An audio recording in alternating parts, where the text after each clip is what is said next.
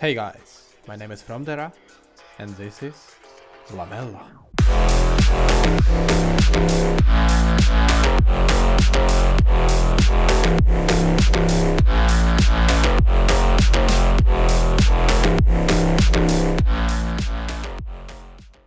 So today I'm going to show you the base, the build and everything else. If you like the video, smash subscribe button and let's get this thing started.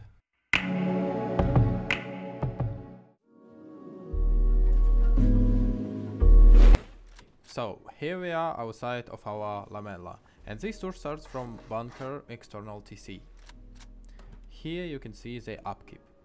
To disconnect the TC, we'll just make the simple tweak build out and then place a roof ramp at the end. And then reconnect it like so. Next we will head into one of our two gatehouses. My lovely Patreco peeks. As you can see, we have very good view from them on our compound and you can still see your friends with DB from these windows. Of course, 360 degrees of our compound, protected by 6 turrets. Behind this door we have quick respawn points.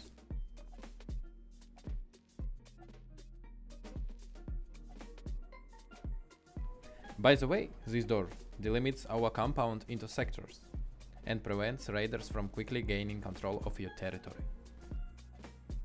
If your compound been breached, you can use this concrete barricade pick. It's very tight. Well, where would we go without furnace wall, which add 5 more rockets for raiders. We also have pretty good angles from these peeks as well.